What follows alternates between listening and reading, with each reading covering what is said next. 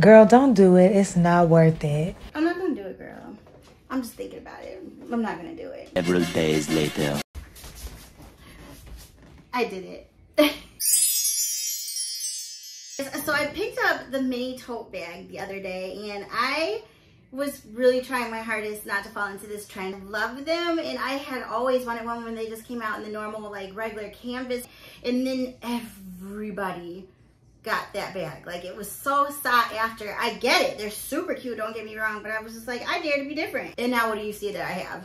I have the damn tote. What intrigued me, obviously, is that it was made in terry material. Especially since you guys know that I am obsessed with terry cloth anything. Like, I've always been a huge Juicy Couture girl. So, I think it's limited edition for the summertime. I'm not sure if it's going to be something that's going to be on the regular Marc Jacobs site for a long period of time. So, I would definitely suggest that you pick this up. But they do come in pink, they come in yellow as well as black, and I believe there's also a white, and I loved every single one of them, but pink is my color, you guys know that. Now, let me stand up so you guys can see it. So it says the tote bag, Marc Jacobs, but I just wanted mini because I feel like this is pretty big for a mini, right? Like I could fit so much in this. It's insane. Um, on the back, it does just have the standard Marc Jacobs style, the tote bag, location NYC, year 1984.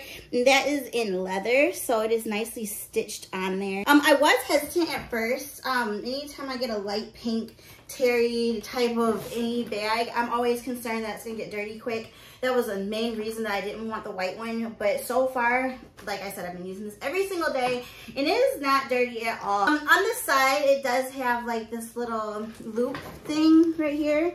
I'm unsure what these are for. Can you guys let me know? Because I'm pretty sure you all know what it is.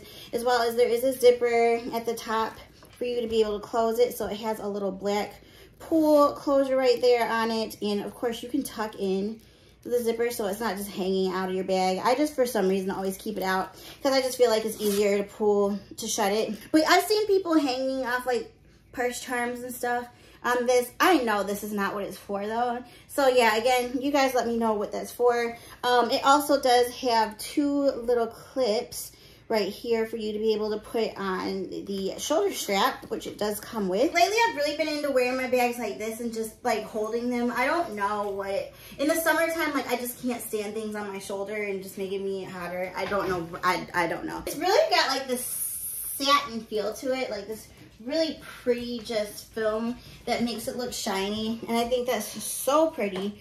Um, again, it's super cute on. I just don't wear it on right now. And also, it is silver hardware, which is really different for me because I don't typically get things with silver. It's also really cute too if you wear it with the shoulder strap and just have it like hanging low. Again, you can do whatever you want with your bag because it's just that nice and it's your bag.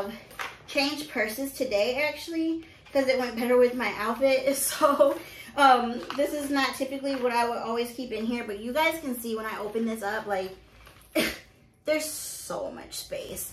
And one thing I really do like is that even though I have a lot in here, it still kind of has its own shape and structure without you needing to get one of those, um, like, purse, where those things, shapers, the purse shapers that keep it, like, shaped and you're able to, like, keep it organized. Uh, purse organizer. um, I was going to get one for this, but then I realized that although it does need to be organized, it doesn't really need help when it comes to shape. So yeah, it would probably, of course, keep it a little bit more, you know, squared looked.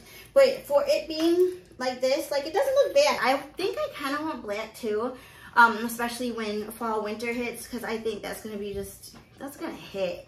And I don't know if I'm going to want to rock my pink I mean, pink goes perfect all year round, but I just feel like there's something to that black one that I really want. Like it started off with the canvas ones, now there's a leather and there's monogrammed ones. There's just so many different ones out there now, but this I fell in love with. I absolutely love the terry cloth. So I'm gonna be giving this a Brit Brat crown today. I've been wearing it for weeks and just trying it out. It's definitely worth the money. So I said it's in pristine condition. It does not look dirty.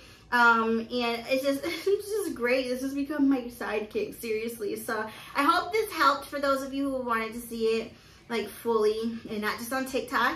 Um, if you've been thinking about getting it, don't hesitate. I would just get it because it's just that cute.